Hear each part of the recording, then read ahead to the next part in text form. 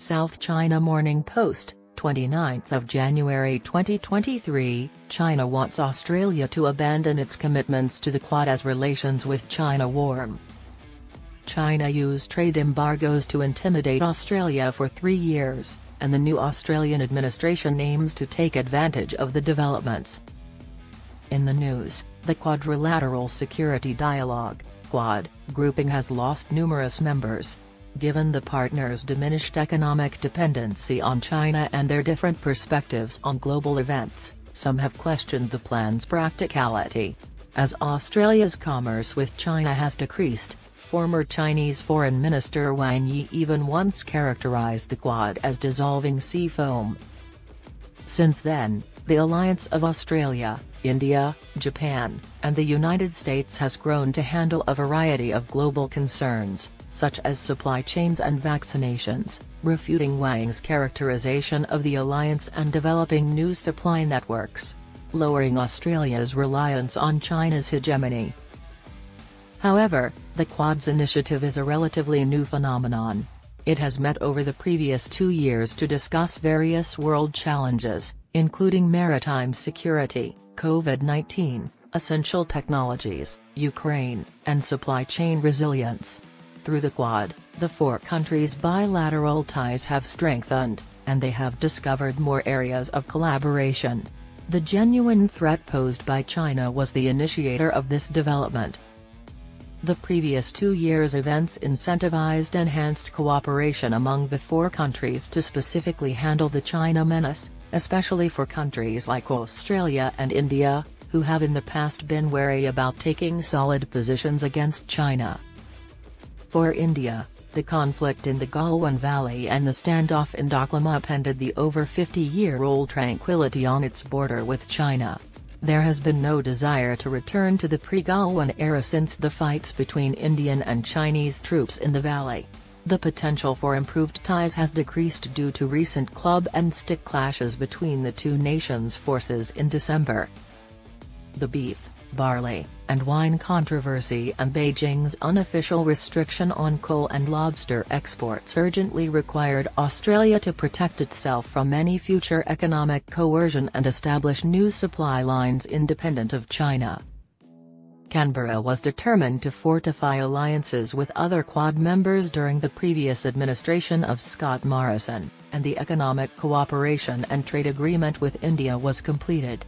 Australia increased its security cooperation by joining the AUKUS alliance with the UK and the US and taking part in military training like the Malabar naval drills with its Quad counterparts. New Delhi has kept up the momentum to lessen the danger from China. As long as Beijing tries to alter the line of control unilaterally and keeps deploying troops along the border, India's relations with China cannot be typical, according to Indian External Affairs Minister Subrahmanyam Jaishankar. Australia today cannot be described in the same way. Under the Morrison administration, Canberra solidified its reputation as a trustworthy Quad partner, However, the Albanese administration seeks to reduce tensions with China to levels before 2020. Tim Ayres, Australia's Associate Minister for Trade, most recently saw Wang Shouwen, his Chinese counterpart, outside the World Economic Forum and urged China to eliminate its illegal trade barriers. The meeting was another step towards stabilizing the relationship between our two countries, he continued in a tweet. Australia was motivated to pursue trade agreements with significant markets like India to lessen its dependency on the Chinese market and to consider China's economic challenges. China thinks that the tether is gradually dissolving due to its policy measures, which are, at best temporary and include the removal of export restrictions on goods from Australia.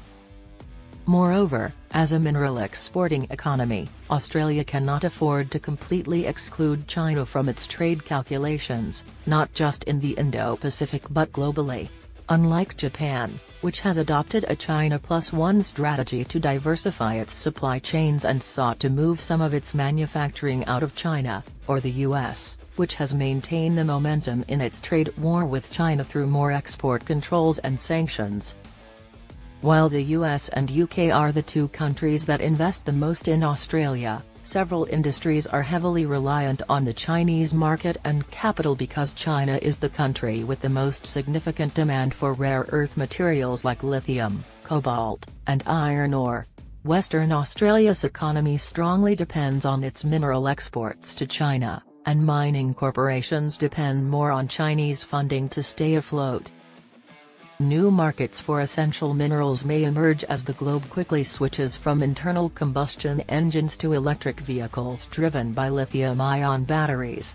However, there are currently few feasible alternatives due to China's experience and comparative advantages in mineral processing. Further, given the Indian government's strong preference for green hydrogen over lithium for its autos, Australia has sought out India's sizable market as a replacement for China for wine and other exports, but that would not be possible for vital minerals. China claims, in a recent interview with CGTN's Tianwei, Kevin Rudd stated that he believes China and Australia have begun to restore their bilateral relationship, the former Prime Minister has strongly advocated for improved ties with China. Hence, his nomination as Australia's ambassador to the US may signal that China is preparing for a repeat of 2008, when Australia effectively left the Quad.